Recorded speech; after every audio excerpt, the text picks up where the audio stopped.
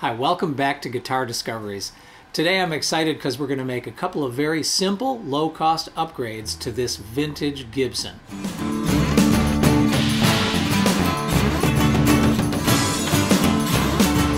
So when you talk about making upgrades to a vintage guitar, for a lot of people, they want to be careful and not do anything that might damage the guitar or alter it for resale purposes, things like that. So the two improvements I'm talking about today are a couple of very simple ones that are absolutely non-invasive and can really actually make a difference to the guitar sound. And we're going to check that out too. We're going to make some comparisons. I'm going to record uh, how the guitar sounds right now before we make the improvements and using the exact same settings, same distance to the mic, everything else, we're going to be doing an A-B test where we can take a, a listen to how the sound has changed, if at all. We're going to find out.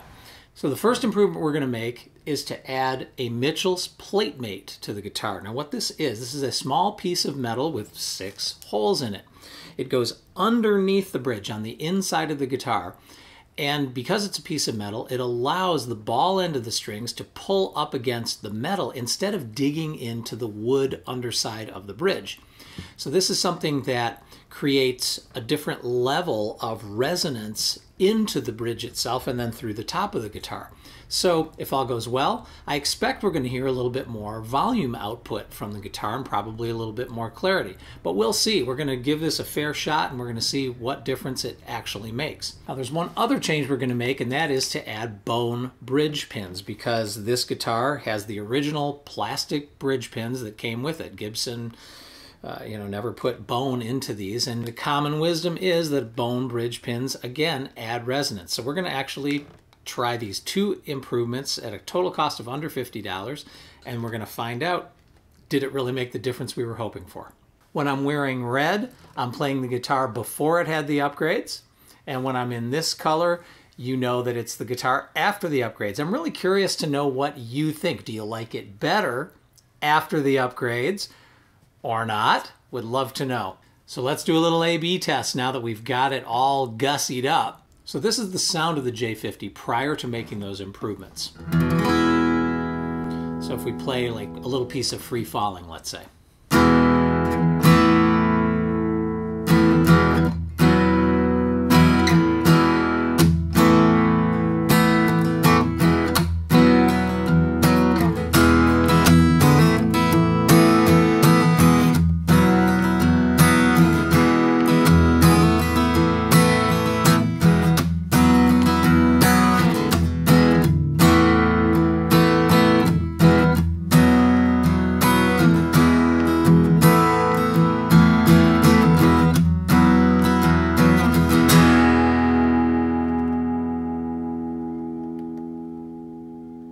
Let's try something finger-picked like uh, Blossom from James Taylor.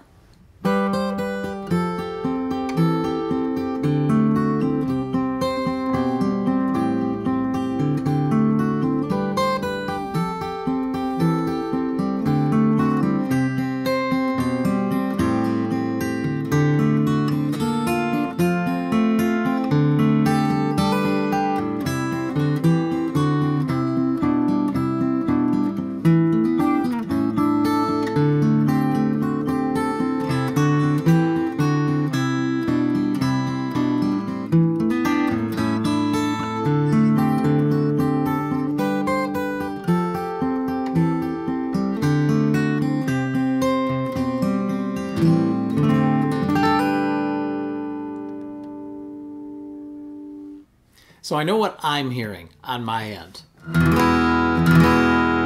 I don't hear a large amount of difference in the bass. Seems to be like the bass response is still very similar. I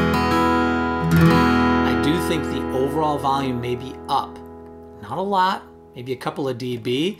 We're going to measure that too. And I am hearing more upper mid-range and what I might call air on the top end. I think it'll record beautifully with a high quality condenser mic. It's loud.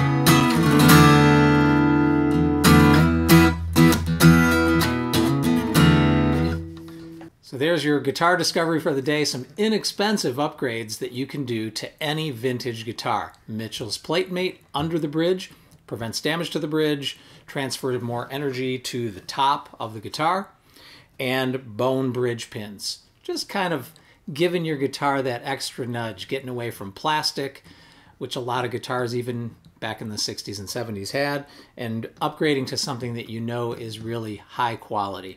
So, hope you'll join me again for future guitar discoveries. Please subscribe. See you again soon.